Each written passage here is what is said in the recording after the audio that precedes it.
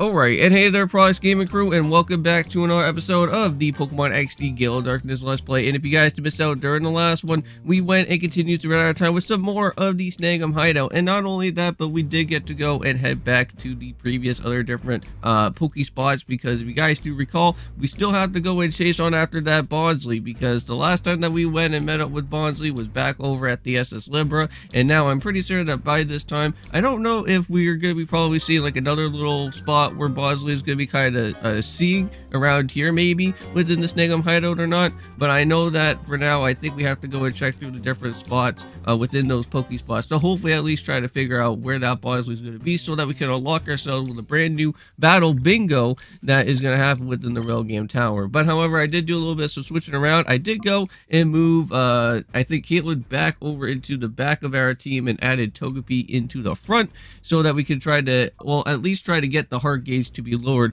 uh, little by little uh, because I think for right now, I think Togepi is going to be kind of one of the hardest of the Pokemon that is going to be shadow related to get the heart gauge to be dropped at this point. But we do have Marlin here at level 35. Not going to go into too much details with the different moves that we do have, but we'll go here to Togepi though, however, at level 25. Uh, yeah, so far the heart gauge has not even moved at all within the slightest. So uh, we still need to kind of go and still try to drop it uh, within the first of the of the parts of the of the heart gauge that's going on for right there. But we do have Chugga though at level 25, our Donphan now, which that is really cool. Which uh, we didn't really get to go and use too much uh, during the last one, but hopefully we can try to do that uh, hopefully soon with the maybe in this episode if anything does happen here. But we do have a Kami at level 28, does have Heat Wave, Confuse Ray, all that different stuff. So nothing has really changed from there. We do have Triple H though, however, at level 27 still has the same exact moves, and I'm pretty sure that everything should be fine. But oh right, and yes, also too, we can't forget about the last Pokemon that's on our team. is Caitlin at level 23, and still has the same moves, and everything is fine from there. So I believe right now in the Snag'em hideout is that I think we made it into the second of the floors that is happening here. And uh, every time, whenever I see this guy, it feels like uh, he's always gonna go and like try to challenge me or something like that. But we, but that already happened from before, so we don't even have to go and even worry about that. But let's just go and get ourselves just another full quick heal just in case because you never know. It's always uh, it's always good to be safe, you know, because you never know what's gonna probably happen whenever anything uh, goes on here within this game. But I know that we just went about out with this guy though, however, and I think there's going to be quite a few other different paths that we can kind of go and choose from. I think we're going to go through this one here and see if there is anything. Seems like there is going to be some steps. Uh, yeah, there is going to be some steps down there. But for right now, I think we're just going to kind of head down through this part see what's to happen up through this way, because maybe I could probably at least find an item up here. Oh no, we got ourselves a movable Team Snag'em Grunt. I don't know how we're to kind of get away from this guy, but you know what? It's always good to go and probably challenge out one of these guys, because you're probably never to be able to go and battle them again, so let's go and do it right here, right now. So how's it going, dude? First Snag'em Grunt for this episode once more, so let's go and see what he's got to offer out here while we are going through the Team Snag'em Hobble. Uh, hope you guys do go and check out on the Dark Cloud 2 Let's Play. We are, of course, going to be going and jumping into our next and up-and-coming uh, Guardian that is going to be happening there for our time to get ourselves with the Wind Gem out of all things. So hopefully we can at least try to pick it up, and there we go. Hopefully that can try to lower a little bit more. Wow, that is still going to be taking a really, really, really long time, man. Okay, well, you know what? We do have a Bite. Hopefully that does enough. Uh, we'll go switch around with Mons out here. Uh, we'll bring out with... Let's bring out with Triple H. Yeah. I think Triple H should be a little bit better out here, because that is a Smeargle, right? And, uh, to be honest with you, Smeargle can be a little bit crazy sometimes with just that sketch move, so we have to be a little bit careful for when that happens. But if you guys do recall, back over in our uh, Battle Revolution uh, Let's Play series that happened a while ago, that Smeargle was pretty crazy. Smeargle came prepared with like sheer cold and other wild moves that I don't even think it could even like even learn something like that, which that's pretty crazy for me. Uh, but here we go. So let's go and uh, finally get to use Flamethrower, and this is going to be our time where we can finally get ourselves a Ninetales within this episode for today. So this is going to be really nice. Finally, we got ourselves with the learned move of Flamethrower, and now we can finally be able to uh, not even have to even worry about ever having to use a Vulpix anymore. So there we go. Finally got ourselves a flamethrower. Triple H now got that 138 EXP right there. But we do have a developer though, however, and things are going to get a little bit crazy. Because unfortunately we don't really have Sean at the moment, so we kind of have to try to figure out on a different other type of plan. So We'll have to go for probably Bite on Pelipper here. We'll have to go for Brick Break on the Smeargle. And uh, let's just see what we can do. Hopefully we can get a flinch off or something from that Pelipper so that it doesn't have to go for anything crazy related. But there you go. Triple H is coming in with the Brick Break and knocks out the Smeargle once and for all. So see you later, buddy. It's kind of interesting because I think like Smeargle can like change his paint color around, right? Like every time that you encounter one, because like, because like we just saw like there was a Smeargle with a red, uh, red type of paint tail, but I know that there's a Smeargle with a green one as well. I, I can't swear that that I've seen something like that from before. Well, let's see. Uh, there is a Machoke. Don't know what we're gonna do for this one though. However, we could probably switch into. Uh, well, no, I don't really want to go into Chugga because we don't really want to get ourselves super affected out here. Uh, we'll probably have to go and switch over to Caitlyn, maybe? Because we do have at least some sort of Psychic type move, but again, Confusion doesn't really do a lot. So we'll have to go and see what's going to happen from here. This should go and knock out the pellet Pelipper once and for all, so we don't ever have to go and worry about with that, so that's good. And I don't know if I ever went and ever told you guys this yet, but I did go and buy out some uh, brand new 3DS games. Uh, I just got myself with the Kirby uh, Extra Epic Yarn uh, for my 3DS, which that was pretty cool.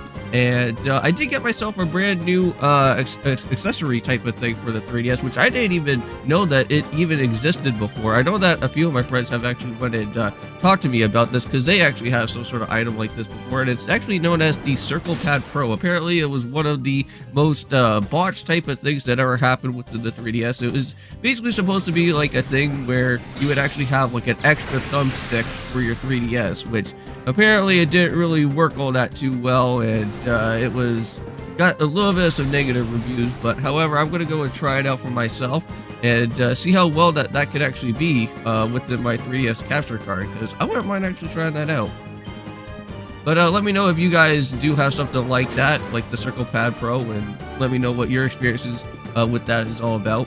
I know that I do have the Kid Icarus accessory for the stand though, which uh, apparently from what I've heard is that it's one of the best things to have for the 3DS, so that you don't have to go and worry about trying to like uh, find a way to adjust it. You can just literally just have the stand right there and you can just place it right at the exact spot that you want it to. Alright, but there you go. Man, Hobble's already down and finished with, and that's all good. And I think I also went and uh, got myself with like uh, Superstar Saga, Yoshi and Poochie's Woolly World, uh, bought a few other different 3DS games as well too. But yeah, I still need to go and try out with uh, Legends of Legacy though at some point on the channel, which that would be really fun because I do have that in box and uh, I don't know if I kind of want to break it open yet. I kind of still want to kind of hold it off for a little bit. Oh no. Oh jeez. Okay, at first I thought that guy was going to spot me there for a second, but at least we now know that there is a uh, that there is another movable one of those trainers out there. But I know that there are some steps down below down here, right? And I don't really want to go and uh, forget about where this place is going to be because there could probably be another item that would be uh, somewhat pretty nice for me. Now, um, I don't know uh, if you guys watched the Mario 3D World Co-op uh, episode, uh, but if you guys do hear that the sound was like a little bit kind of weird, like uh, during throughout that episode, it's just because I was trying out like a new functionality uh, known as the omnidirectional mode, uh, where it would be able for you to kind of go and hear everything that goes not from just the front of my direction, but everywhere else outside. Because I know that I think for a little while. I, I don't know if you guys would be able to go and hear Kevin uh, during, uh, through most of the different other series that we have done together in the past, but I wanted to try out the omnidirectional mode to see if it can actually kind of pick up uh, things a little bit better, but I don't think so. I think I'm going to kind of probably just stick around with just having the cardioid mode instead because I think that will be the much far better option for me. And I totally forgot about one thing, and that was actually supposed to be getting myself a Ninetales out here, and I just went and jumped right into a battle instead. I'll make sure about me doing that right after this. Okay, so let's go for a bite. Uh, we'll set that up on the Crobat because we want to make sure that this guy's going to be gone once and for all. Uh, we will have to go and switch out into uh, you know what? Let's try out Kami. Let's go and try out that brand new uh, type of uh, flamethrower that's going to happen with their with their move that's going on. Because at least the good thing is now is that since we do have that TF for uh, flamethrower the last time, we will go and give that over to a Togetic. Wow, that Crobat did some pretty crazy acrobatics right there. Alright, there you go. Yeah, let's set that up. Hopefully that can... Wow, that actually brought down quite a bit. I have to say, Crobat looks so huge in this game. Is that how Crobat is supposed to look like in this? Like, like in, like in the actual aspect of how Crobat is supposed to be for a size? Because like that's huge.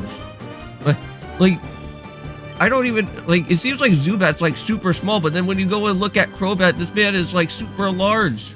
That's crazy. Huh. I would never expect something like that. Because like normally I thought like a bat would probably be like like not that huge, but geez, Crobat's insane. It's like it's like that Crobat's larger than the Team Snag'em himself. Like, oh my god. Well, I know that like uh, later on when we go and meet up with Snorlax, I, I know that that Snorlax is going to be much larger than than what this Crobat design is supposed to be like. Alright, but here we go. We got ourselves a Torkoal. Okay, well, we know exactly what we're going to do out here. We have water gun for this, so let's go set that up. And we'll go for a... Well, I, I don't even know what this man's going to have. Like, Well, I don't even think, like, Flash Fire was even a, a thing here in this game yet. So, I guess we could probably go for a Heat Wave or something. Could be wrong. Flash Fire could probably be, like, Generation 4. Normally, the only thing that I would only know about Flash Fire was that it was from uh, a chandelier, and I'm pretty sure, or chandelier, I should say, not chandelier, chandelier. I can't believe that. Are you serious? I got myself flinched. I could have would have just been able to, uh, something. Okay, well, there you go. That's not too bad. We're almost about to get ourselves into a, uh, another level up here for level 30. Wow, you know, this would be a perfect opportunity for me to go and have a Ninetales to be able to go and use for this battle because there was like a lot of easy things out here for Okami to do. Um, let's just go for Water Gun and set for Flamethrower, knock out the Ballista once and for all. Let's go get it done. Great, go do your thing, Marlin. You should be able to knock out that Torkoal no problem. Go. Nice. Torkoal is out of here, man. Nice, at level 30. Finally. Got another Pokemon that's finally going to be in the level 30 margin. Yeah, once we get Sharda back on the team, that'll be our other up and coming level 30 mark, because having an Ampharos is not actually all that too bad. Cut? Oh man. Well again, Cut's not going to really do anything, so that's fine with me. Okay, so let's just go for a quick attack there and go for a confuse ray. I'm pretty sure that if I go for a quick attack, this should be able to just knock out Blossom right there. Yeah, no problem already got a fish with, and that is really nice. Wow, 766, even with the EXP share going on within that. That's crazy. Yeah, I think we're going to hand on over that EXP share and do a little bit of a switch around. So, uh, let's go and do something here. Oh, I get it now. You're on that SS Libra when I went to get that Snag Machine. Hey, it was Biden. Oh, and speaking about with that, our spot monitor is tingling, so let's go and, uh, make a beeline, shall we? And start heading on over to uh, where that uh, to where that is going to be, because hopefully he doesn't run away.